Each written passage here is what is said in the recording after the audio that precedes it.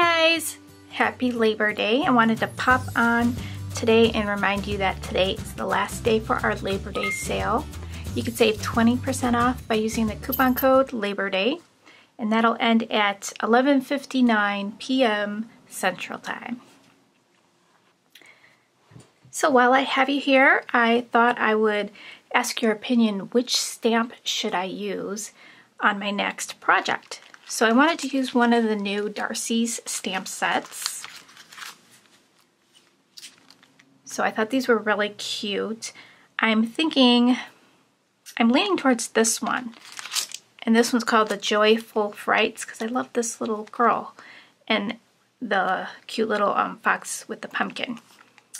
So which one do you guys want to see me do? There's only two of these, so I probably won't do these. These will probably sell out with the Labor Day, Labor Day sale. That one's the Scary Halloween. But I do have plenty of the other ones. This is In the Moonlight and Hocus Pocus and Joyful Frights. So let me know in the comments down below which one you want to see me make a project with. And I wanted to share a card I received from um, Bitty Penny on YouTube. So she's a customer customer of mine and she's been a customer for a while, but recently she's put up a YouTube channel. So I would love if you would head on over to her channel and check it out and subscribe to her. Um, she is very talented and she posts regularly. So she has, um, she does crafting a lot. So I love that. And this is a card she made. Um, it was for one of our Digi challenges for our design team, um, which is extended to everyone that wants to play along.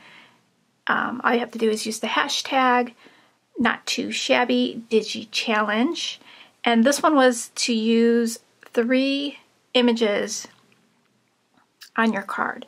So she used the cute little snowman, the little fox tree, and then the coffee bar. And I love the scene that she created.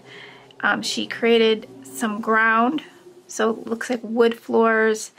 And then you had to do embossing on this card, a dry or a wet embossing. She did dry and she made these little um, score lines to create a look of shiplap.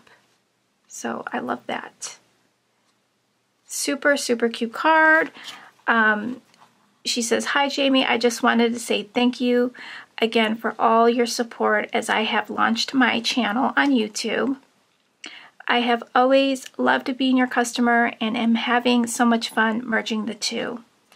Hope you have hope you have a fun fall season.